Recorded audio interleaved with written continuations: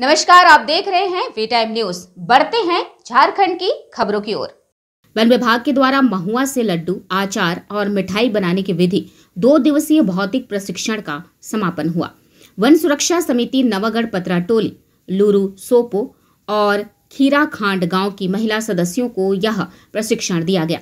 अब ये जंगलों से प्राप्त महुआ को अपने घर में आचार लड्डू, बिस्किट, बालूशाही, ठेकुआ बना सकेंगे।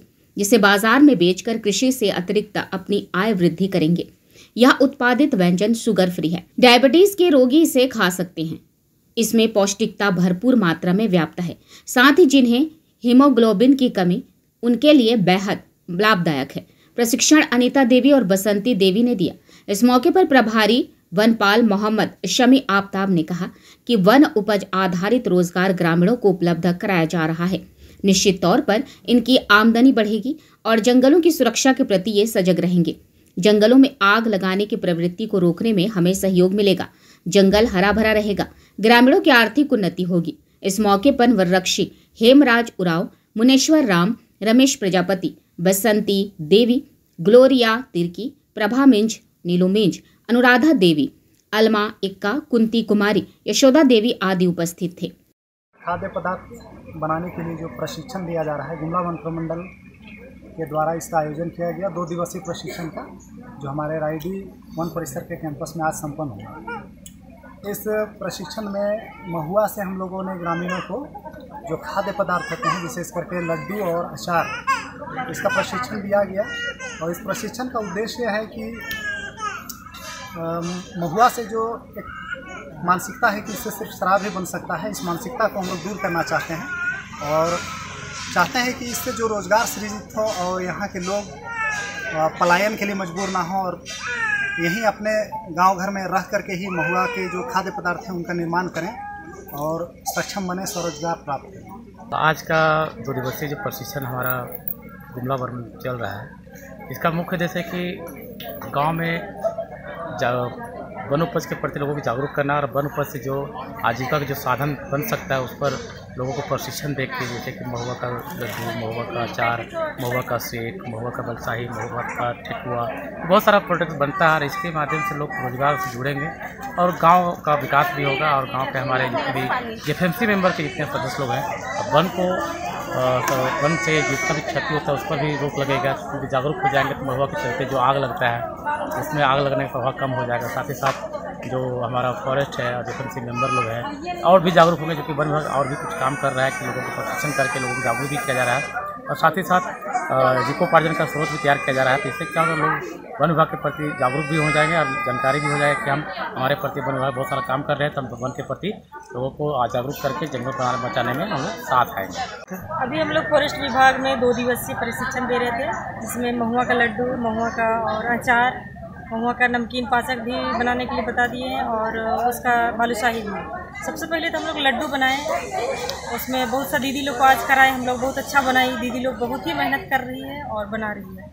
अभी तक गाँव में लोग बस इसका देसी शराब ही बनाते थे महुआ से, जो काफ़ी दीदी लोगों को नुकसान भी होता था, जेंट्स लोग पी के आके दीदी लोग को मारते भी थे, लेकिन अभी दीदी लोग सीख रही है, काफ़ी रुचि भी ले रही है कि बहुत अच्छा दीदी आप बता रहे हैं कि महुआ का लड्डू और अचार बनाने के लिए इसका मार्केट भी हम इन लोग को बता दिए कि रोड में आप बना के दीदी बेच सकते हैं टेबल लगा के, इससे बहुत अच्छा आपके यहाँ अभी जो छत्तीसगढ़ जाने का रूट है, इधर से बहुत सा गाड़ी आती जाती है, जो अब यहाँ पे बिज़नेस कर सकते हैं। कहीं जाने का ज़रूरी भी नहीं है। इससे महुआ से बहुत सारा बीमारी को भी ठीक करता है। ये शुगर फ्री लड्डू भी बनाते हैं हम लोग, जिसमें चीनी का कोई भी उपयोग नहीं होता है।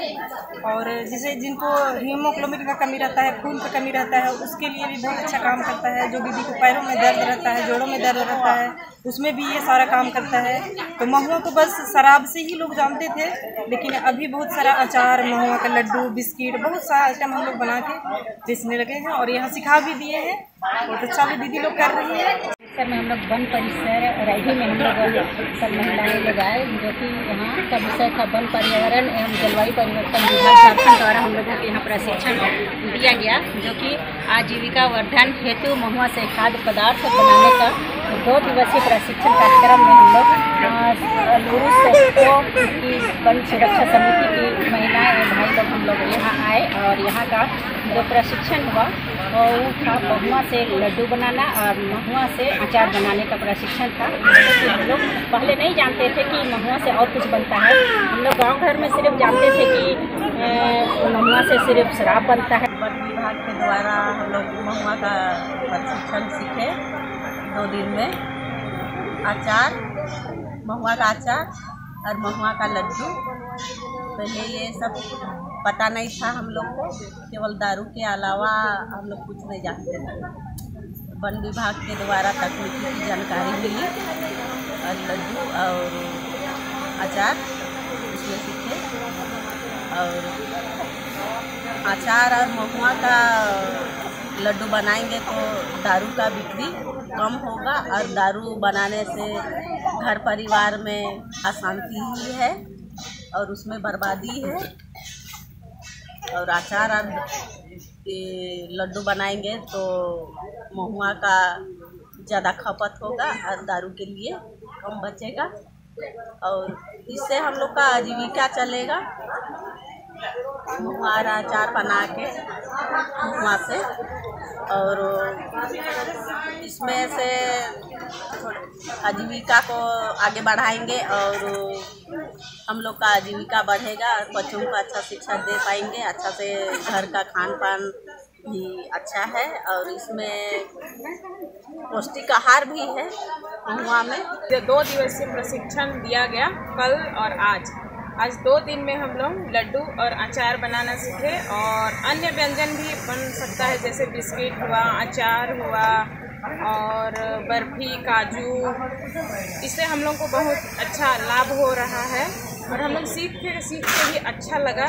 जैसे कि हम लोग सोचते थे पहले कि महुआ से खाली शराब बनता है और जिससे घर वाले सभी लोग परेशान थे कि दीदी ऐसा नहीं करिए, लेकिन दीदी लोग नहीं मानती थी। तो हम लोग चाहते हैं कि हम लोग जागरूक हुए हैं तो और दीदी लोगों को भी इसको सिखाएँ और दीदी लोगों को बोलें कि आप लोग महुआ से बिस्किट, अचार, लड्डू, बर्फ़ी, आप लोग ये सब बनाइए। और जैसे लड्डू देख रहे हैं ना लड्डू देख सकते हैं, कितना स्वादिष्ट, दिखने में ही स्वादिष्ट दिख रहा है। तो जैसे अब शुगर फ्री भी हो सकता है ये। है शुगर फ्री है, जैसे कि इसको बूढ़े बुज़ुर्ग खा सकते हैं। बूढ़े बुज़ुर्ग बाबासीर में भी फ़ायदेमंद है ये। जैसे बाबासीर वाले पेशेंट मीठा नहीं खा सकते हैं ज़्यादा। तो इस चीज़ को भी ये खा सकते हैं। और हम लोग चाहते हैं कि हम लोग और उन्नति करें।